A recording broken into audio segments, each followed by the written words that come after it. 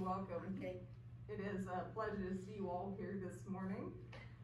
Um, as we prepare our hearts and minds for worship, I did kind of want to get you kind of back in the, the mood of Job as we complete uh, Job's um, kind of our, our fourth portion of that series. So as we prepare our hearts and minds, kind of let's get back into that, uh, that story of Job and let us begin our worship by hearing the call to worship from Psalm 34. Let us bless the Lord at all times. Let his praise be continually in our mouths. Let our souls make their boast in the Lord. O magnify the Lord, and let us exalt his name together. I sought the Lord, and he answered me, and he delivered me from all my fears. This poor soul cried and was heard by the Lord. Oh, taste and see that the Lord is good. Happy are those who take refuge in him. Let us pray. O God, through whose blessed Son we have the hope as heirs of Christ, we may purify ourselves as he is pure, that when he comes again with power and great glory, we may be made like him in his eternal and glorious kingdom where he lives and reigns with you and the Holy Spirit, one God, forever and ever. Amen. As we continue our worship, let us stand in body or in spirit and join in singing number 117 in our blue hymnal, O God, our help in ages past.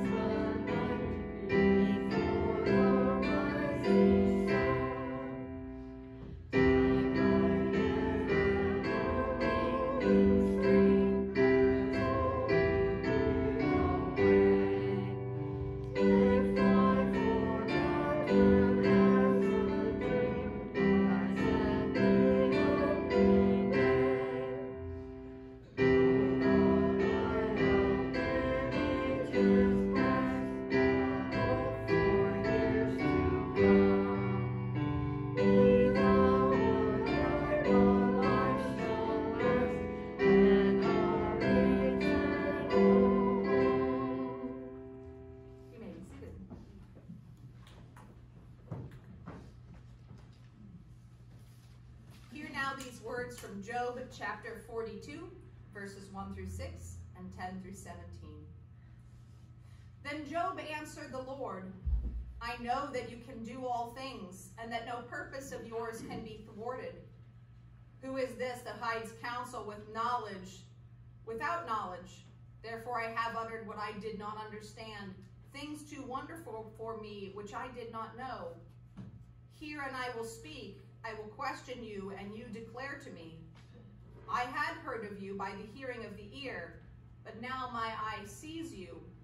Therefore I despise myself and repent in dust and ashes.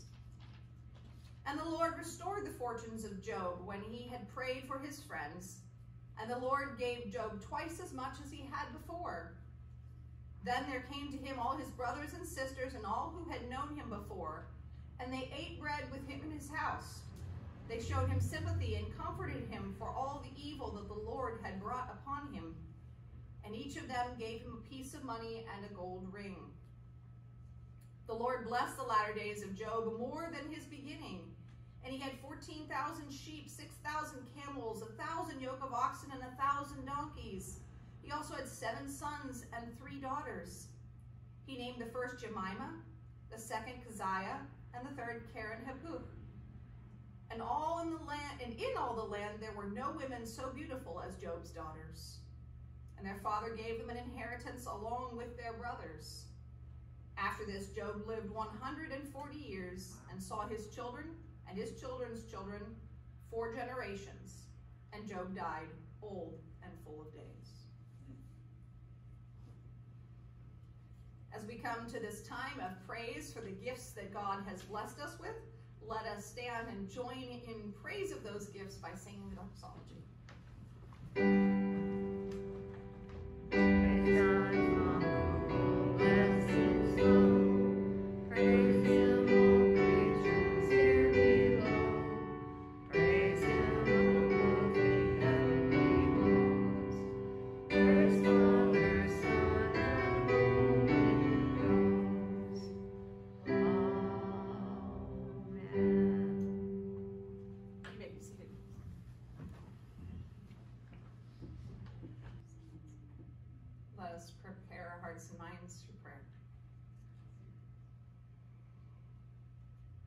Almighty God, you indeed are our help, not simply in the ages before us, but our help and our sustaining and our support now. Lord, we come to you and we ask for ask for your sustaining this day as we lift before you our joys, our concerns, as we share with you the blessings of our lives. Lord, we thank you that you have called us into our own ministry, that you have blessed us with so many gifts, and that we are able to bring those gifts before you this day. We ask that you use them, those that are given in the offering box, those that still reside in the hearts and the lives of those who are giving, and that you use them for your sake, and so that you may through us help and support and sustain and uphold those who are in need. We praise you for the joys that are on our own hearts and minds, as well as the celebration that the election day mini sale seemed to have gone well, uh, despite uh, only having limited items, but also being able to reconnect with those who um, we had not seen in a while and we lift before you the concerns that are on their hearts and minds as well in the lives of those who are connected to this church but in a unique way. We lift before you Mr. Gray as he continues to heal and his journey after his heart attacks.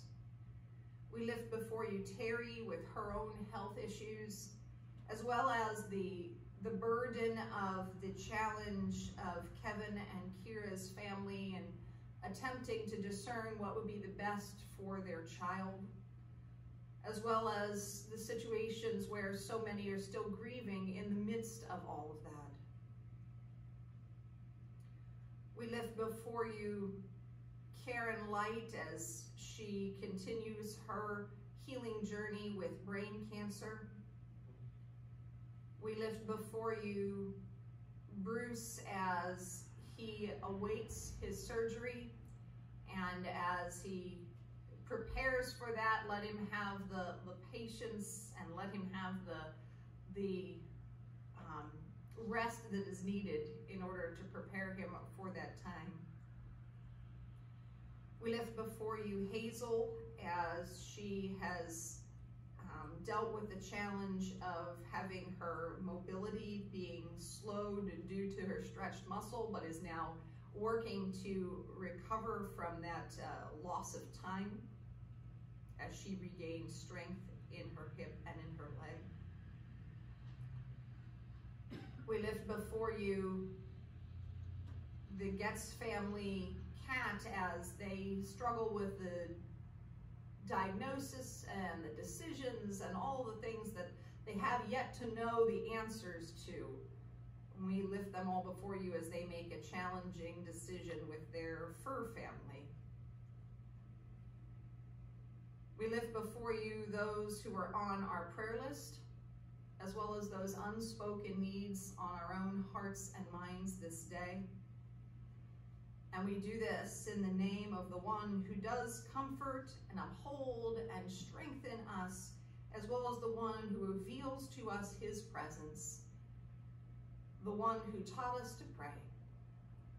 Our Father, who art in heaven, hallowed be thy name. Thy kingdom come, thy will be done, on earth as it is in heaven. Give us this day our daily bread, and forgive us our trespasses, as we forgive those who trespass against us. And lead us not into temptation, but deliver us from evil. For thine is the kingdom, and the power, and the glory forever. Amen. As we turn to our second hymn, um, it appears that I have gone deep into the archives of songs that have not been sung in a while as I searched out uh, an appropriate uh, song for us this morning. So we are going to uh, hear God Leads Us Along once through um, completely before we sing it, found on 473 in your red hymnal, and you may remain seated.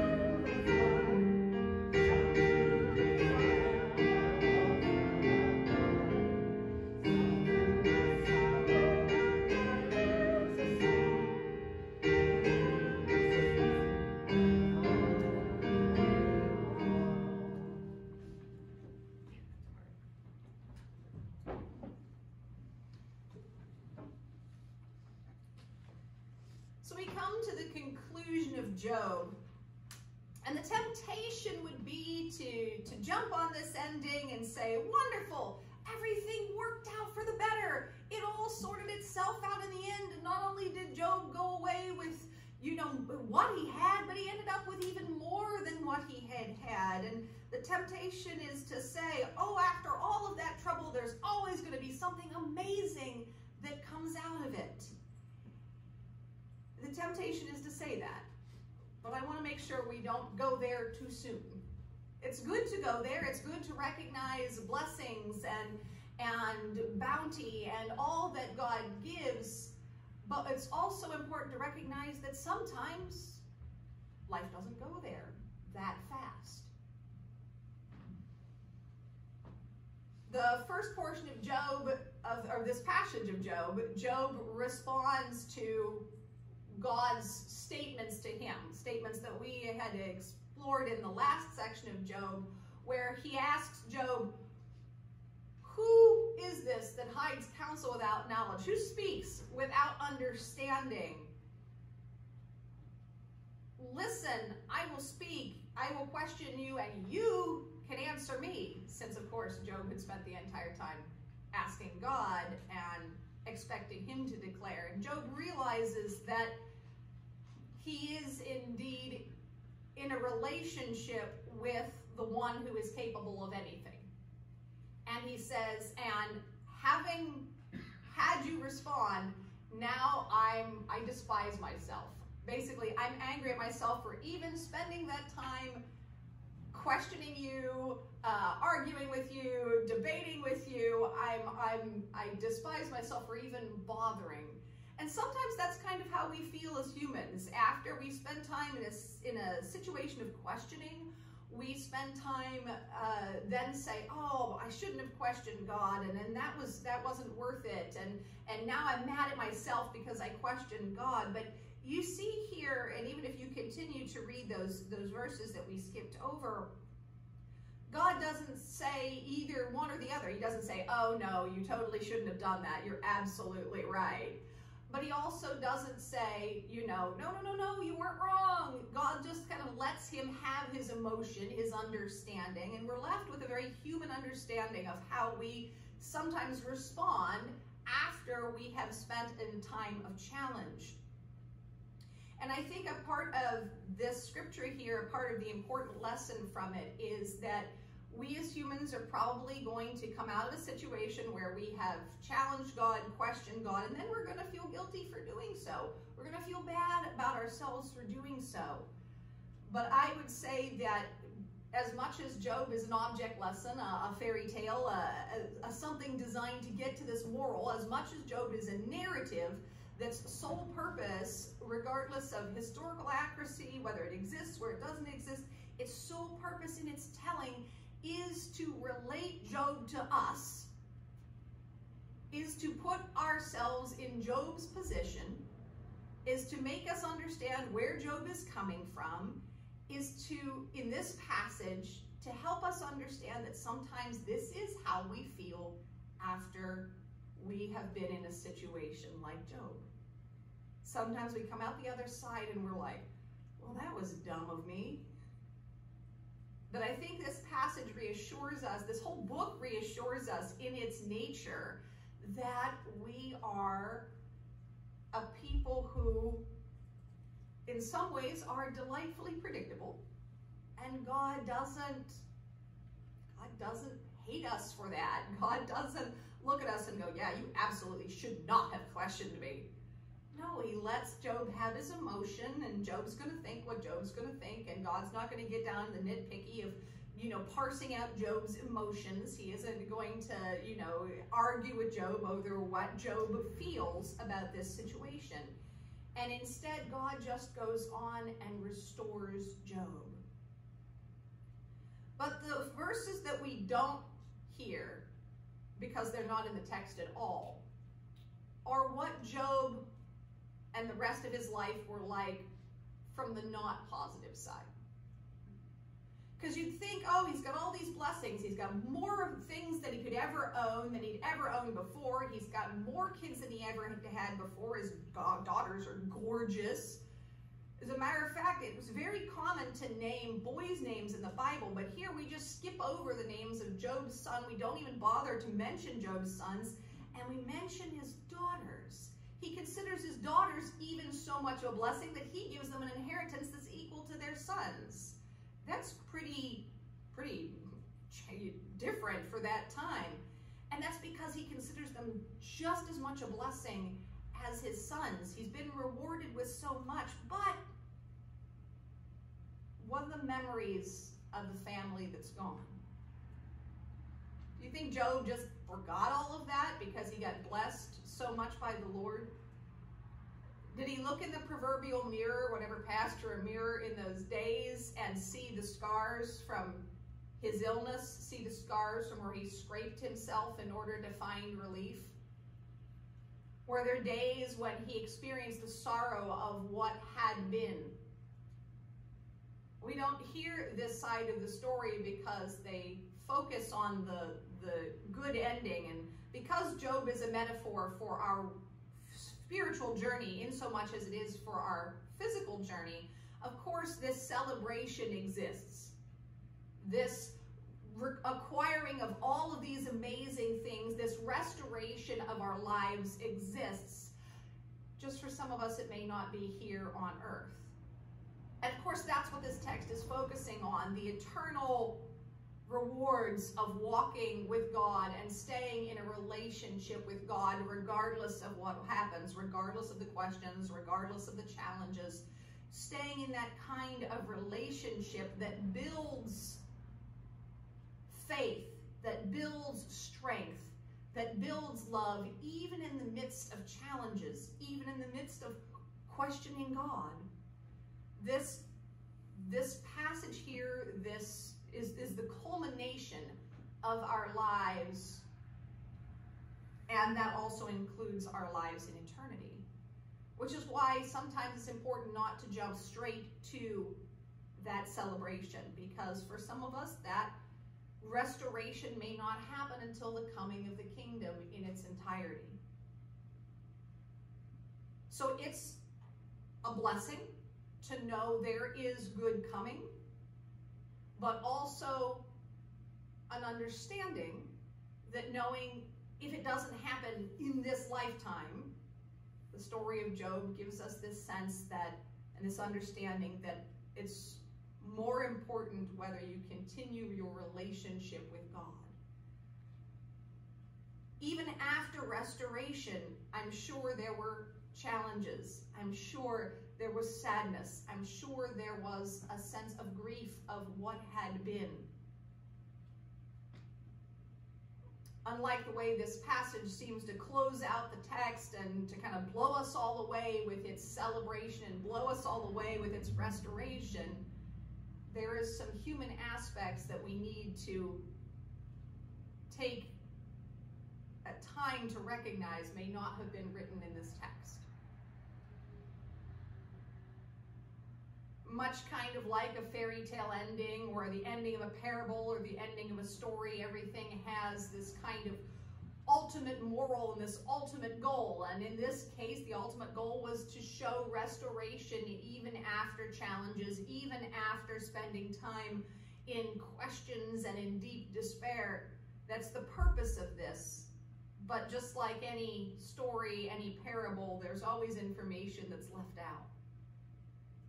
And I want us to be sure not to jump so quick to this quote unquote fairy tale ending and recognize the challenges, the loss, the grief, the, the difficulty that's still going to exist, even if it, we experience restoration from God, as Job did here on earth. So yes, there is promise. After all of this, even after Job spent time questioning God even after Job heard God's voice and, and got, you know, got the talking to from God. Even after all of that occurred, there is indeed still joy, still restoration, still celebration coming. We don't want to discount that in its entirety. It is indeed coming. But we as humans also have a tendency to jump to those happy endings a bit too quickly for our own lives to have adjusted to the fact, I guess is a good way of saying it, for our own lives to adjust to the fact that sometimes life doesn't happen that way. The more important message from Job is not the restoration here on earth, but the restoration in God's eternal kingdom. And to recognize that sometimes after challenges, things don't just pop right back. Sometimes they do, sometimes they don't. But even if they do, there are human challenges still in the midst of all of that. So I definitely don't want to turn this into a downer of a sermon. Oh man, there's more challenges after the challenges. But rather reassure you that there is indeed a promised restoration. But also give time for you to sit with the understanding that even if restoration occurs here on earth, there will still be empty spaces. There will still be challenges. There will still be grief. There will still be loss. Even if we receive 200 fold what we had had before the challenges occurred. Job says, Now my eye sees. What Job is saying is that he had heard before. In other words, he had understood part and part before. What Job is alluding to is this concept that now he has full understanding. Job had seen the world in part and part, Job, as, as we humans do. Job had seen the world in, in fractures and, and portions of what God was operating with. But Job and now, Job's analysis of the situation comes to this understanding that he now has seen all of God's world, all of God's plan. Even if briefly, he now has much fuller understanding. May that be the message that your heart takes from this passage. This message of comprehension of the greater story, the greater picture, the greater image, the greater life that God has for us, and how a more complete picture of that has a tendency to broaden our minds, but also challenge our minds as well. We have a tendency as humans to be limited in thought. This is, this is who we are. We can't see with God's brain. We can't see with that completeness, that totality, and so we have a limited perspective on the world. What Job is expressing is that he now fully understands that relationship and that life with God. The more important message out of this is not whether or whether or not you get redemption here on earth.